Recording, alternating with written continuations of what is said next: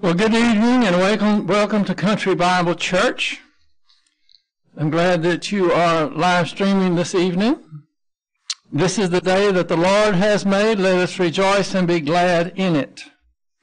We're going to prepare ourselves this evening in our usual way, and that is by having a few moments of silent prayer. And during that time, we have the opportunity to name privately to God the Father any unconfessed sins which ensures the filling of the Holy Spirit. Let us pray.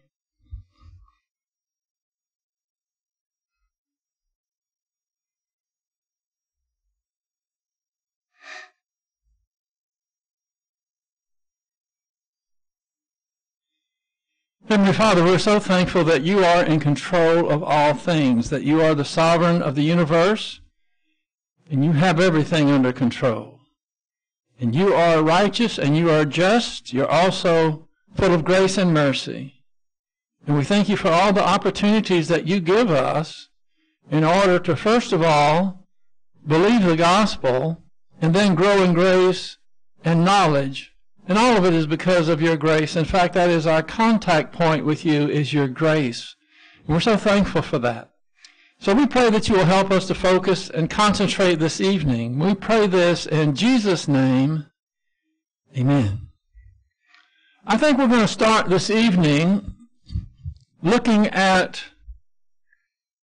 the condition of our country right now.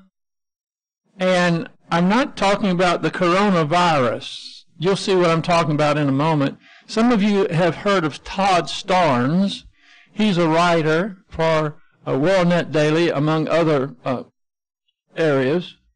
And he wrote something that I think is important for us to remember and to be focusing on. Then I have uh, three little notepads here, little pages I want to add to it after I read this. And I just pick out certain parts that I think are most relevant and that I like, and that's what I'm going to go over here. Well, it was written by Todd Starnes, and it came to me in an email today. Excuse me. Our civil liberties have been stripped away because of what the medical experts told our government leaders. Now, that's what we are facing currently, and we've been facing a lot of things, but we are finding out now, by the way, when I'm looking up like this, that means I'm just just talking to you. I'm not reading. So just just I can't memorize all this. So when I look up and I'm talking, I'm just adding my points here. So the people trusted the government and the expert advisors to get us in a position where we would be best to be able to survive the things that were coming at us. And as it turned out, they were horribly wrong on so many things. And so, and this, this is what actually Todd Starnes is addressing first sentence. Our civil liberties. And by the way, I don't like the term civil liberties because that really doesn't give them the gravitas that they deserve, and that is these are our God given rights. Now, doesn't that really resound much stronger than civil liberties? But anyway, he says our civil liberties have been stripped away because of what we, what the medical expert told our government leaders. Democrat overlords are hesitant to relinquish their control. They have tested of, tasted of the power to decide who gets to plant a garden and who gets to surf in the ocean, among other things. And this is so blatant, I don't know how anyone could not see that this is going on. They have become intoxicated by the authority they have to suspend civil liberties. Now, I like Todd Starnes, but I, he says something here that I have to take issue with. Again, I'll read it to you. They have become intoxicated by the authority they have to suspend civil liberties. I'm not telling you right now, and I'm going to go to a lot more depth in that in a little bit. They do not have, they don't have, nor does anybody have the authority to suspend our civil liberties. This is a bedrock foundation of our country that was in, enshrined in the, first of all, the Declaration of Independence and then in our Constitution. And even Todd Starnes putting it in this way underscores the fact of how many people think that is possible. Anytime they try to suspend our civil liberties, then they have exceeded their delegated authority. They have become, become liars.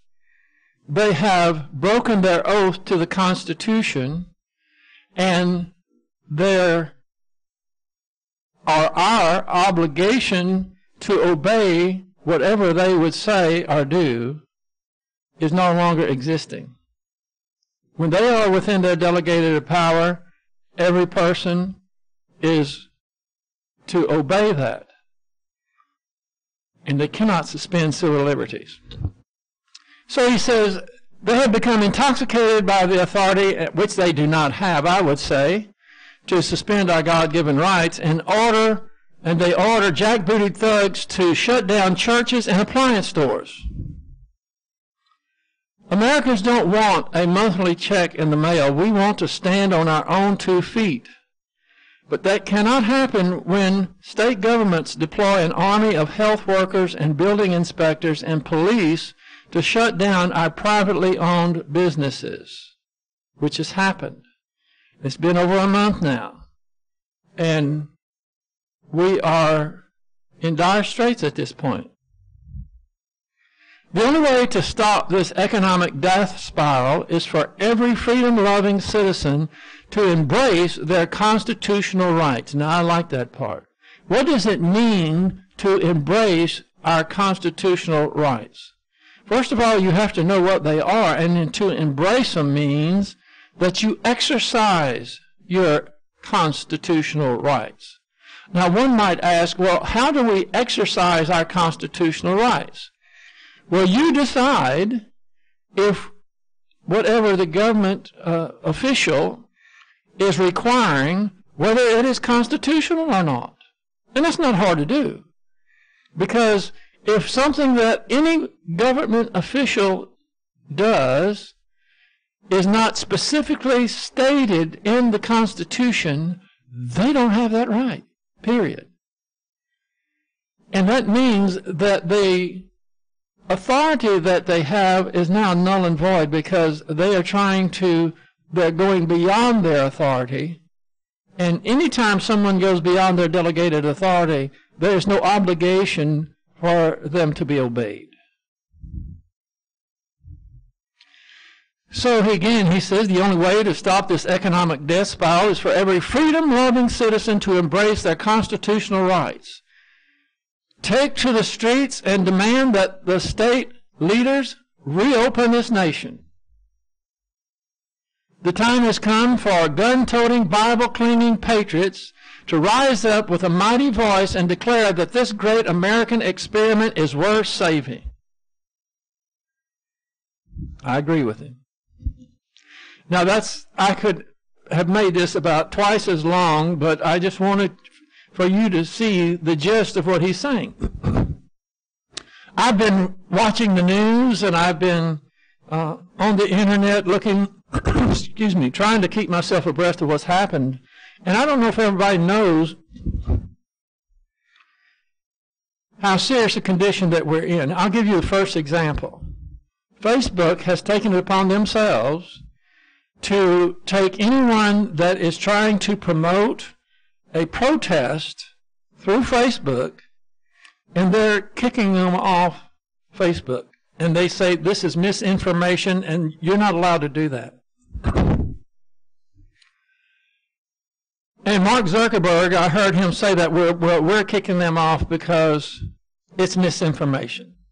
That sounds, sounds like something the Nazi stooges would say.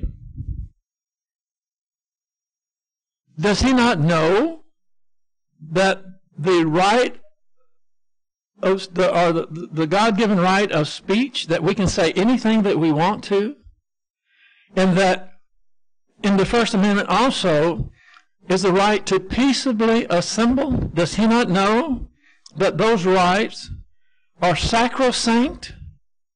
That's the first thing that the people of this country put in the Bill of Rights. The freedom of religion, the freedom of speech, the freedom to assemble, the freedom of the press, the freedom to um, what's the, what's the word? I can't. It's it's old timey uh, to make make your grievances known to the government. Does he not know they exist? And he just this is one man. You're getting kicked off there because I don't like what you're saying. It's misinformation. How does he get by with that? How come he is not sued a thousand times a day? Well, you can look at the Congress for that. But the Congress has made it, given him special, not only him, but Twitter and, um, what's the other one? Um, Twitter and Facebook and,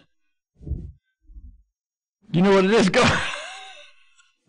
well, anyway, we're talking about the tech companies. Facebook, uh, uh, uh, YouTube. Anyway, the reason they're not sued is because they bought the Congress. And the Congress pass, uh, passes laws or exempts them from being sued, even though they should be in the category of other business that they can be sued as well. So the Congress, as they 99% of the time are, either do nothing or what they do is shameful. So they get by with that. And that's why there are no lawsuits because they are protecting them. And can you imagine how, how you if I was a Congress, in Congress, and I heard what Mark, Mark, uh, what's his name, Zuckerberg said, I'm kicking you off because you're giving misinformation because you're trying to exercise your First Amendment rights. So I, I don't agree with it, so I'm kicking you off. And they sit there on their hands and do nothing? A woman in New Jersey was arrested and charges was filed against her because she was organizing a protest against the governor. And so the governor just sent his goons out there and arrested her. Another thing in New Jersey, there are mayors that are using unmanned drones to spy on the people to make sure that their edicts are not being disobeyed. And I saw pictures of them, I saw videos of them going around spying on the people. New York Mayor Bill de Blasio has ordered small, excuse me, 8 million people to snitch on their neighbors. He's ordered them to do so. And he even pays for that as well. And it's very interesting because he said that if you're in a place and they're not practicing social distancing, you take a picture and send it to us, give us the address, and we'll be out there. And they were fining these people a thousand dollars for breaking this mayor's, and I said, edict. It doesn't have anything to do with the Constitution or law. And there was a person on TV that I saw, she was a journalist, and she called and said, I'm over here in by the subway station, and I'm calling in about people who are not social distancing. They were homeless people. And she said they they are make they're a worse threat and more dangerous than anything any other people that are around. She took pictures of it and sent it to them, and of course they didn't come out. And they responded to her email by saying you need to call the metro or whoever it is that is in charge of the subway. Now, why weren't they interested in going and cleaning up that hazard? They don't have a thousand dollars. There's no money in it.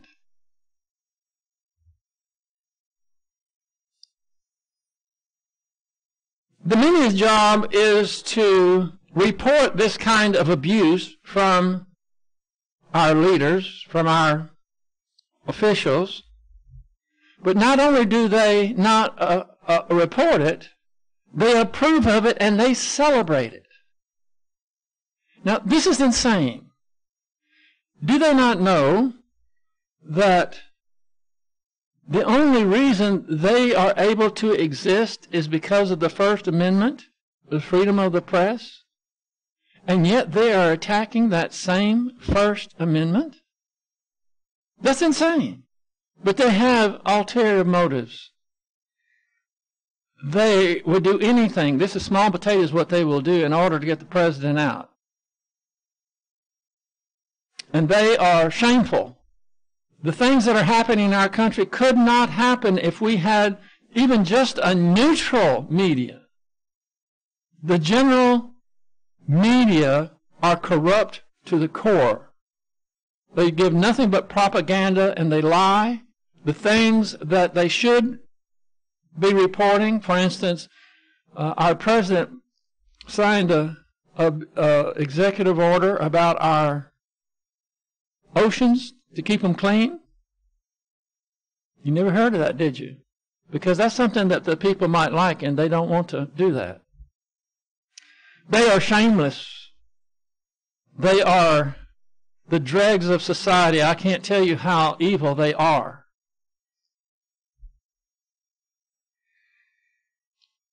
Joy Behar is on The View. You may have heard of her from before. She should be in the media because she's about fitting for that ilk. And she said yesterday that more of our rights should be abolished. That's a quote.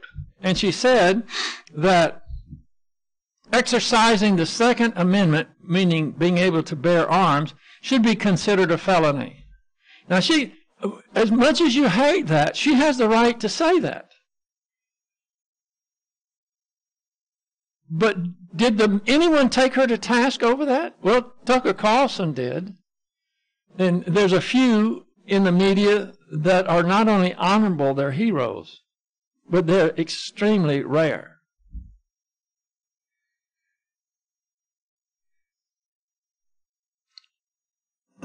America trusted the government experts concerning virus, and like I said before, they didn't come through. And we are in the position now that we are at the brink because of what these mayors and these governors have done, making these so-called um, declarations and expecting everybody to obey it. This would be a good point for me to tell you about. They do it through executive orders. I looked up executive order. This is the definition from Wikipedia of an executive order. An executive order is an institution, excuse me, is an instruction to the people in the executive branch on how to carry out the law or their duties. That's it. Because the separation of powers, the president can't force Congress or the judiciary branch to do anything. And it's the same way in the states. The governor is the highest authority in the state. The president is the highest authority in the nation and they make executive orders, and it is only for the executive branch, the people they have immediate control over, giving them instructions on how to carry out their duties. In other words, no governor, no mayor, not even the president can go directly to the people and tell them to do something and have force behind it. Because you know what you call that? Laws. And only the Congress can make laws. So an executive order means that a governor can do whatever he wants to in the state, in the executive branch, to tell his essential, essentially employees what he wants. But we have taken this and made it to the idea that a, a governor can shut down a whole state Gavin Newsom in California, you hear all the time, he shut down the state and the people don't say anything. He has no authority to do that. All he can do is say what's going to happen in the executive branch in the state of California is relevant only to them. And yet the people think that this is so. Is abysmal ignorance as far as how our country, our country is to operate and how our government's supposed to operate and about the Constitution, whether it's the state or the federal Constitution. They just think, well, they said we've got to do it, and so they think they, that that's necessary that they do. Many government and mayors have used this crisis to become tyrants who oppress the people, and Congress does nothing.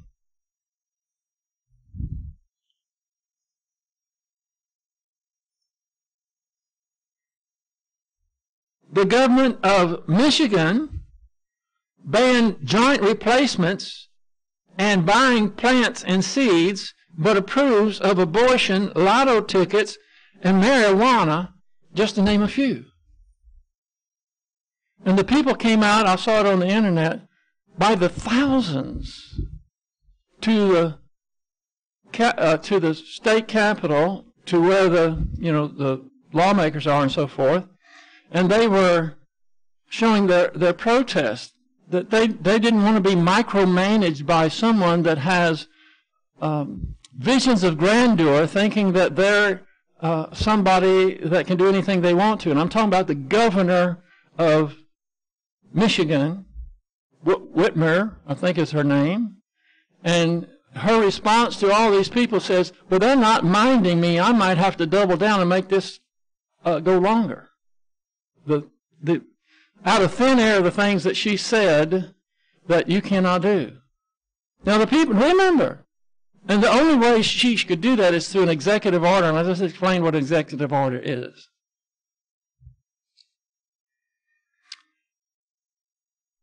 Listen very carefully because these few points I want to make are bedrock.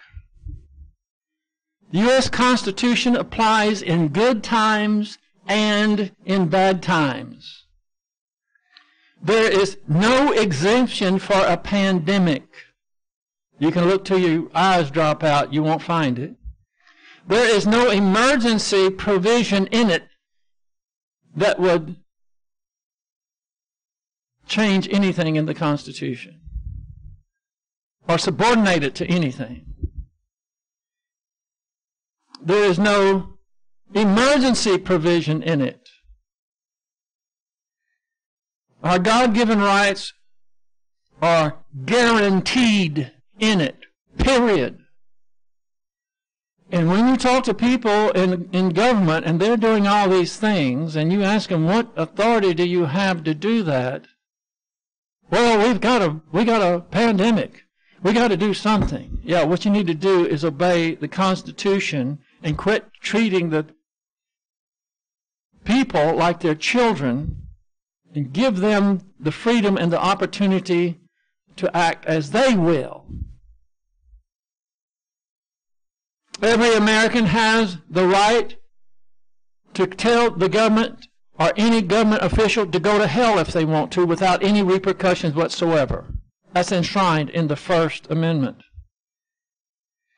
The right to peaceably assemble, even if you want to peaceably assemble to trash a government official, that is enshrined in the First Amendment.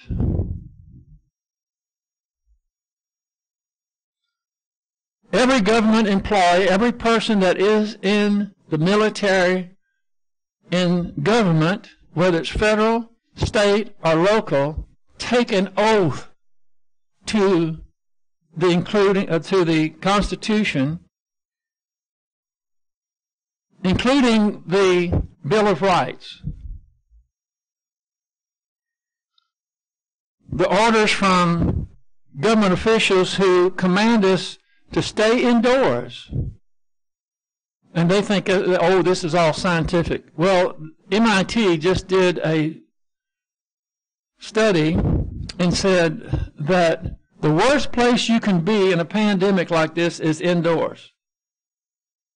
And, they, and, and we have governors say, if you go outside, we'll arrest you. There was a guy out in the surf by himself, nobody in sight, and the officers went down there, told him to come in, arrested him, got right close to him, touched him, put uh, uh, cuffs on him, and hauled him out to, uh, off to jail. And the media was applauding it, and the monster that made this supposedly an edict that everyone has to obey was gloating about it. So this study says that when you go outside, you have fresh air, you have the breeze, you have all this, and in fact, they have some percentages. They said 80% of the cases recorded came, who caught this uh, virus were indoors. 80%. 40% of cases uh, were contracted on public transportation. So we're not getting correct information, and the reason I'm taking this very important time to tell you this is to embolden you. You don't have to know statutes and the law, all these type of things. All you have to know, basically, in order to keep people from infringing upon your God-given rights, is what I've been telling you just the last few times.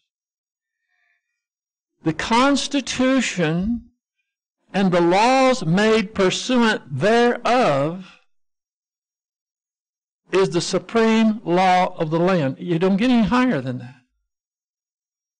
And it has to be specifically stated for the rights that the states did give, which actually is the people through the states did give to the government, whether it's state or federal, are very defined and specific. So what I'm saying is, it looks like we are at a point where, where we're getting past this virus. Only God knows what's going to happen. And people have been so focused on that, and they've been so willing to listen to the government in the plans that they make, that they shut down their homes, they shut down their businesses, and millions of people in this country are without a way of providing for themselves and their family now. And they desperately want to get out. Another thing the news isn't showing is how many hotspots all over the country where people are, are marching on the state uh, state house, where, where the on the Congress, the state Congresses, and saying, "We are not going to take this any longer." So we are at the brink, in, brink in that way.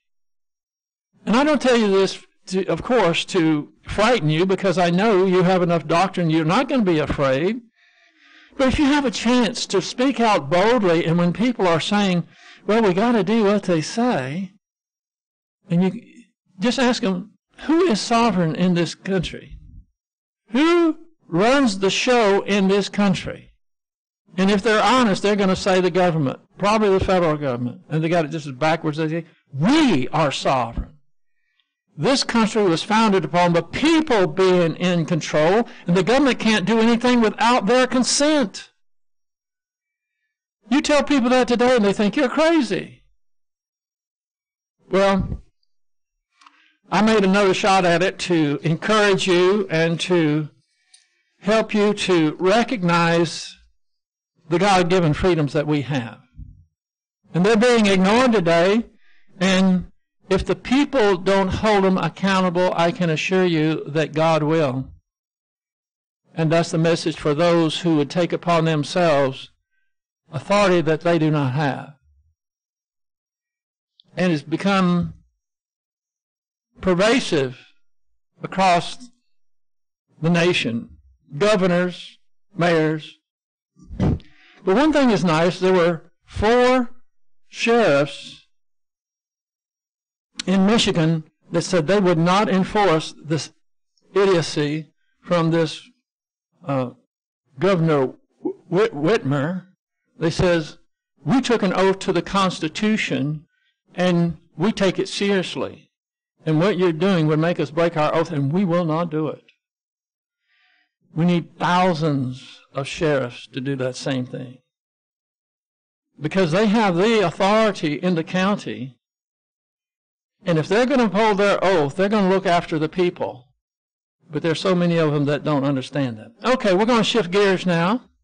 And we can go back into our questions about grace, 21 tough questions about grace.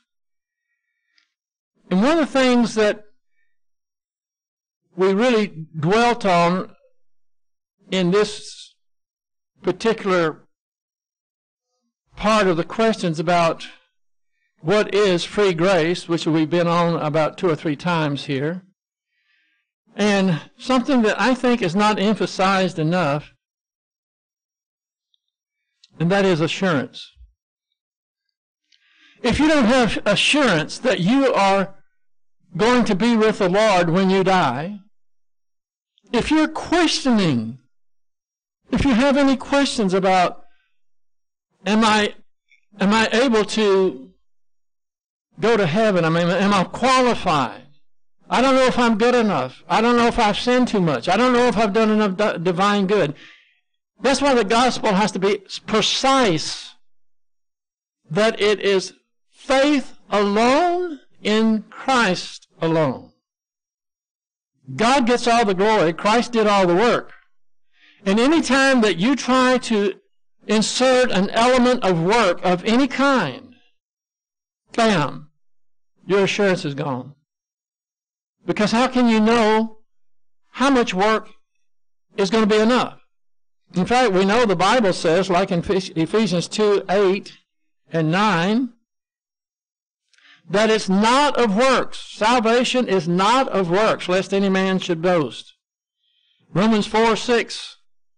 To the one who does not work, but believeth in him who justifies the ungodly, the godly, the ungodly, excuse me, his faith is credited as righteousness. You know the verse after verse after verse, and it's given as a gift. We know all of these things. But one reason I'm impressing this on you this evening is so it, you, you will be impressed with it. And every time you're talking to someone and they say something that smacks of, of, of works or something that is not according to grace, you don't want to just jump on them and and make a, uh, make them uncomfortable. But you need to stick on that and uh, uh, uh, somehow bring them around to see what grace really is. Because every Christian will say, "Oh yeah, I believe in grace. I'm saved by grace."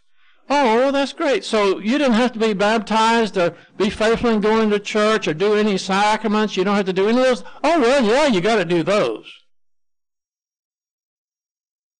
They don't have, have an inkling what grace is really about.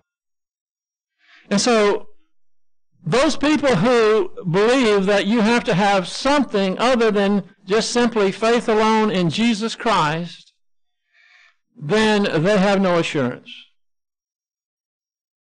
And we're talking about the great, huge numbers of people, even those who profess being Christians. Y'all remember Paul Reznicek? Talked to him the other day.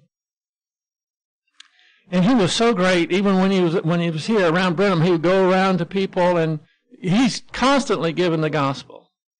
And he said he looked kind of dejected one day. I said, "What's the matter?" He said, "Well," he said, "the churches had a big um, outing in the park. The park was right across from where he lives."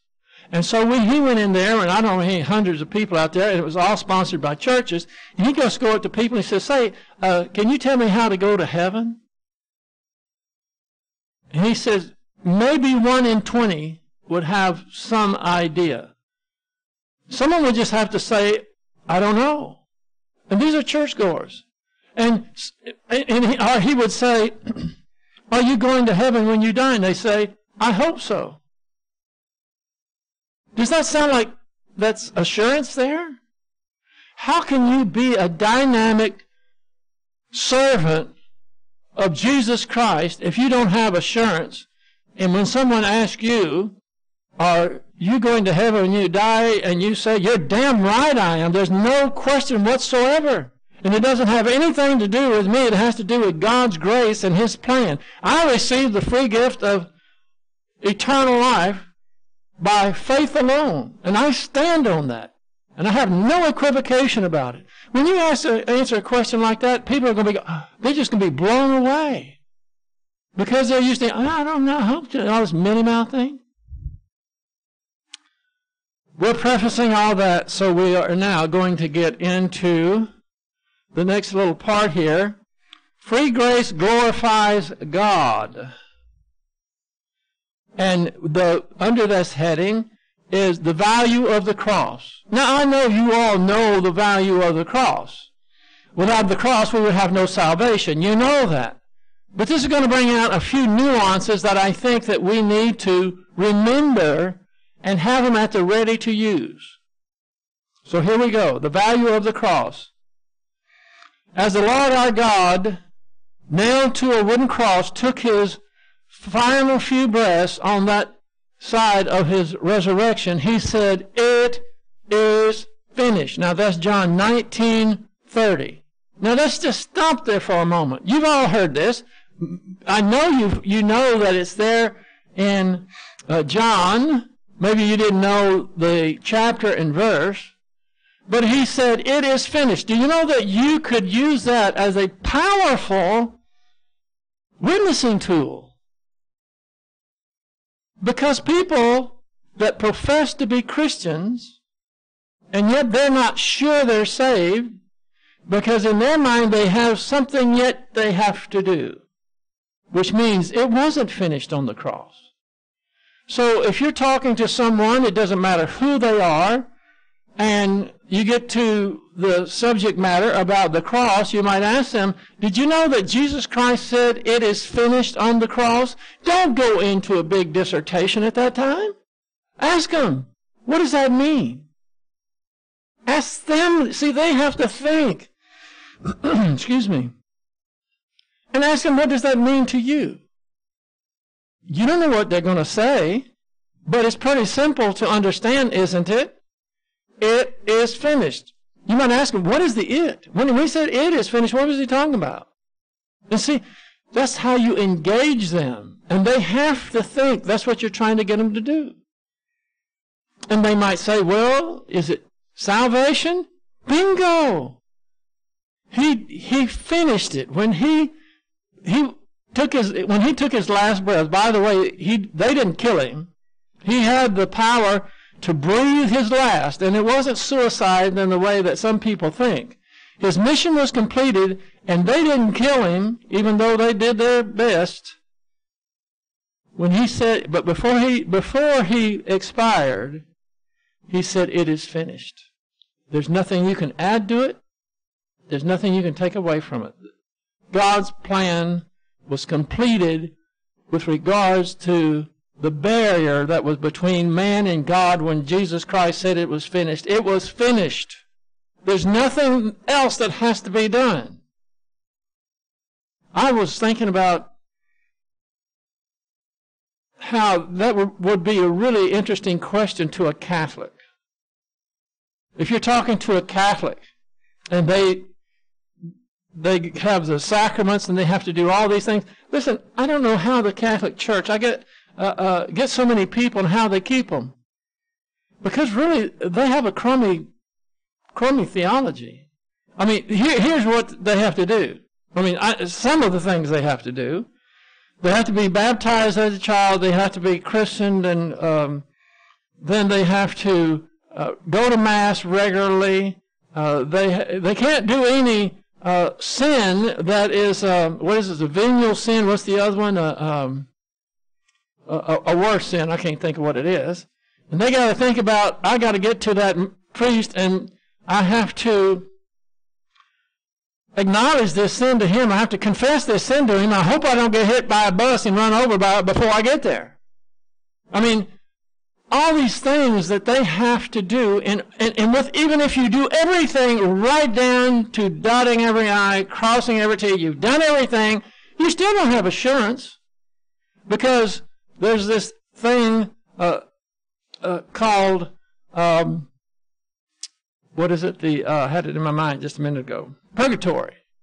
Now you got to go into purgatory and you got to suffer there, depending on how bad you were or what, or what all you did until you're ready then to be accepted. How does that fit with this simple, it is finished? Ask him, how does, how does all those things you say measure against Christ saying it's finished? If it's finished, it's, you don't have to add it, you don't have to do anything else to it, does it? Look for these kind of very simple things. And when you're talking to people that do not have assurance, and anybody that, uh, even those that say, yes, I'm a believer, I'm a Christian, but they say, I hope I get to heaven, I'm not sure about this, I'm not sure about that, it is finished.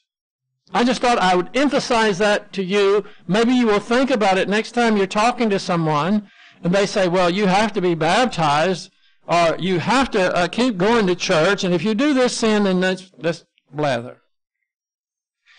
He had borne all of the sins of mankind and his work was done. God was satisfied and no one could, no more could sin separate anyone from him. Period. That's what I said. The barrier was moved permanently. And when people think of heaven, most people, you know the first thing they think? I hope I'm good enough. Am, am I good enough to do it or am I not good enough to do it? And they don't know that people, I, I hope that y'all do this sometimes. When people are equivocating about sin and you just blurt out, hey, nobody goes to hell for sin. you might have to revive them. They might get the vapors. They, they, that's got to be sacrilege. That's got to be heretical. They've never heard that before. I've told people that before, and they've said, and, and they and they did. I thought they was going to get the vapors right there in front of me, and I said, "Let me ask you one question. If you can go to hell for your sins, then Christ must have failed on the cross, didn't he? Or else he made a wasted trip. And and they and, and I see it. It's so wonderful. They it registers with them. They think it's the first time, and that's not big deep theology. That's just logical, common sense. Sin was taken away by the power of his precious shed blood. The value of his blood in God's eyes is more than sufficient it is infinite. Now, you notice it says his precious shed blood. We don't, I'm not going to have time to get in it tonight. I might do it next time. But he, this, this author talks about the blood of Christ two or three times in here. And I want to make sure you've got the right understanding about that.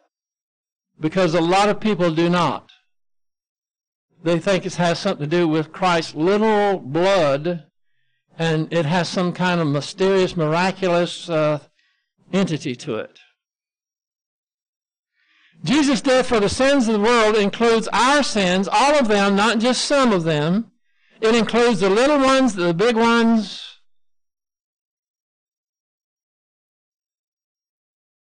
Come on.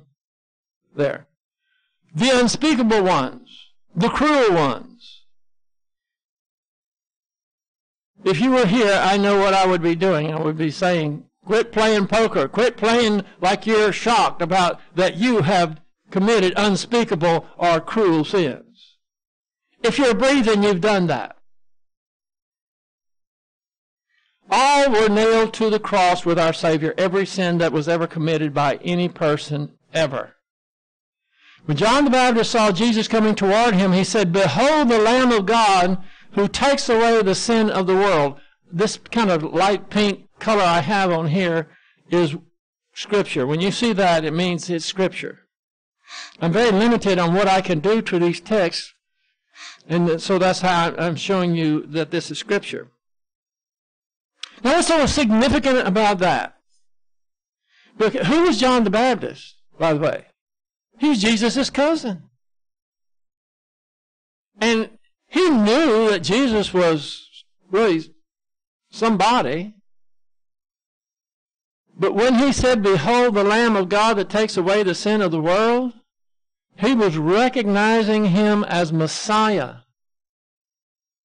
And he said this after he was baptized, and God the Father had already pronounced him This is my beloved Son, in whom I am well pleased. Listen to him. And when he says that this is the Lamb of God that takes away the sin of the world, how many lambs, how many millions of animals were sacrificed prior to that time? We don't know how many. We way in the millions. But not one animal could ever take away the sins of the world. All they could do is cover them. All they could do is put God's wrath on those sins on hold until the real Lamb of God, who was perfect, came and took away the sins of the world. Likewise, Paul wrote, quote, this is 1 Corinthians 15, 3b through 4, that Christ died for our sins in accordance with the Scriptures, that he was buried, that he raised on the third day in accordance with the Scriptures. 1 Corinthians 15, 3b through 4. And then we have Romans 4, 25. And he was delivered up for our trespasses and raised for our justification. Two things going there. He, again, he was delivered up for our trespasses on the cross, and when he rose from the grave, it was for our justification. When Jesus Christ rose from the grave, it, grave, it was a demonstration that God had accepted his atonement. It was a way that God then could justify us and we are justified because God the Father recognized that Jesus' sacrifice on the cross propitiated God the Father. It satisfied God the Father, and therefore we are justified because he was the only and the perfect sacrifice. The Apostle John wrote, He is the propitiation, that is the satisfactory payment for our sins. Who is our? Who are the ones that are encompassed in the word for our sins? Everybody's ever been born. Because Christ paid that price for all of them. There's no partiality because we are all dead in sin. And that's 1 John 2 2. What it does, well, I didn't finish the verse. He is the satisfactory payment, the propitiation for ours, and not for ours only. Now, he's talking about not for ours, the, the ones that he was talking to, not for ours only, but also for the sins of the entire or the whole world.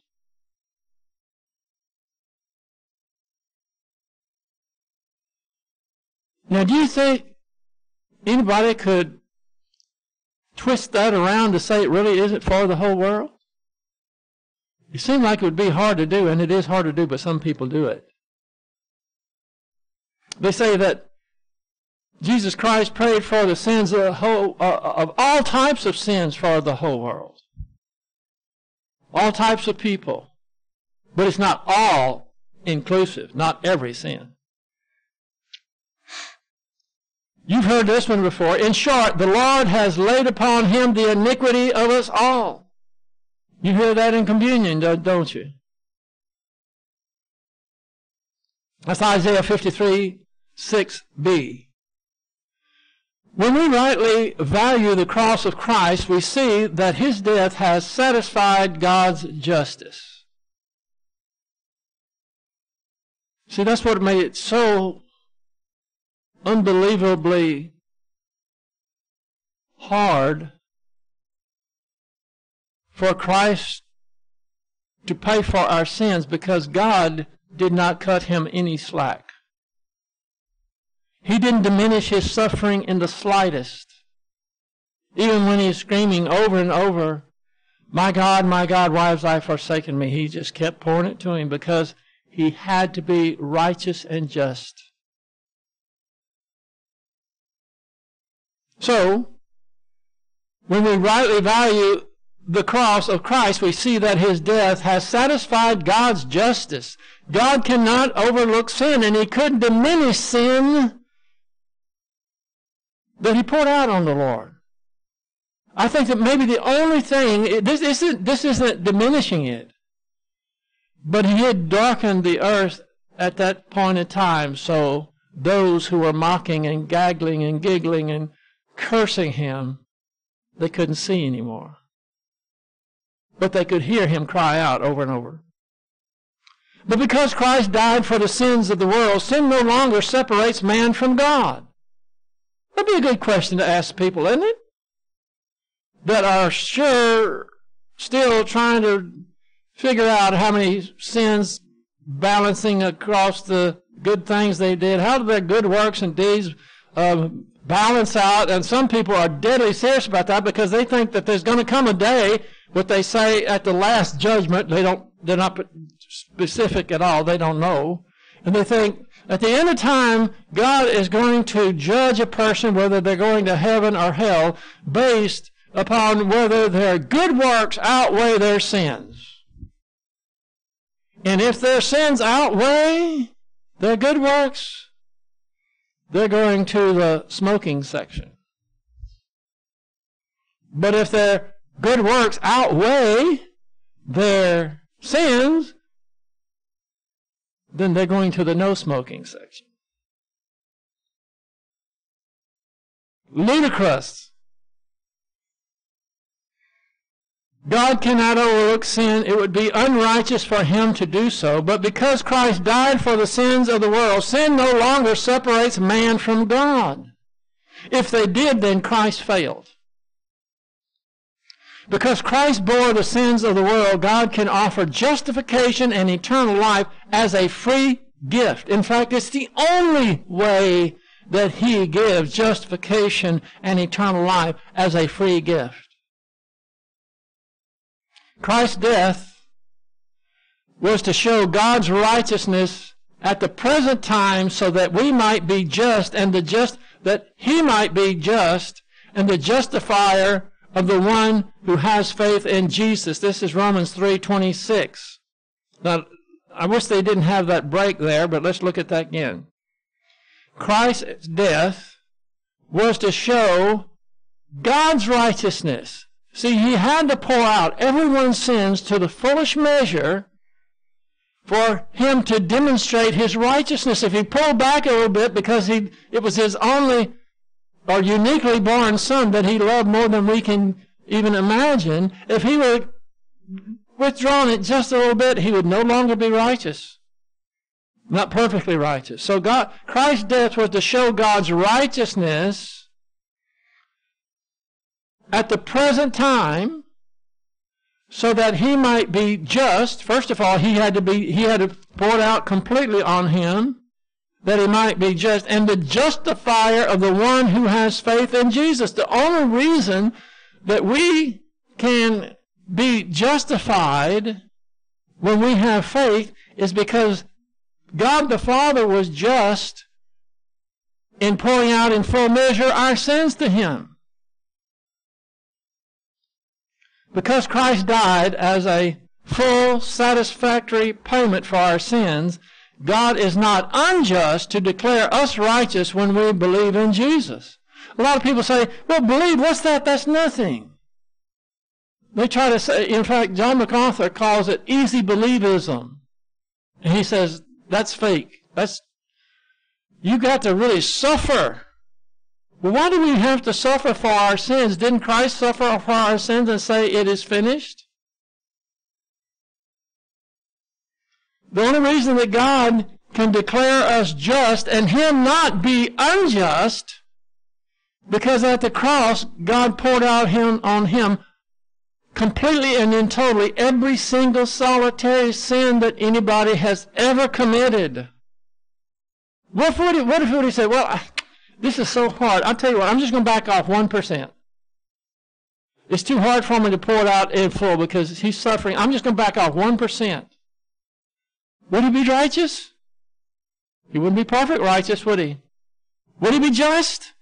No, he wouldn't be perfectly just. And because he didn't back off, and because he was just in the way that he handled the atonement, the sacrifice of Christ, because he was just in that, now he is just in pronouncing us justified.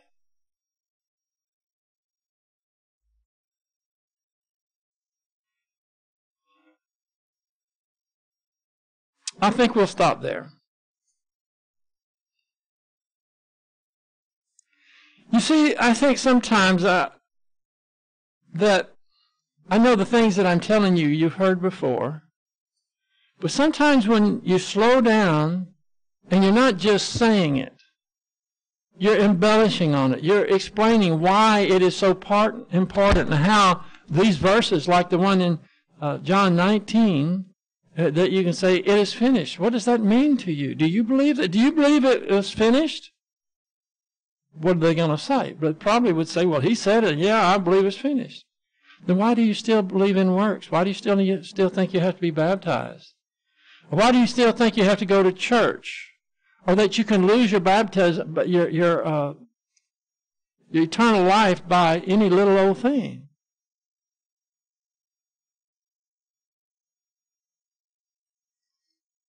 Okay, well,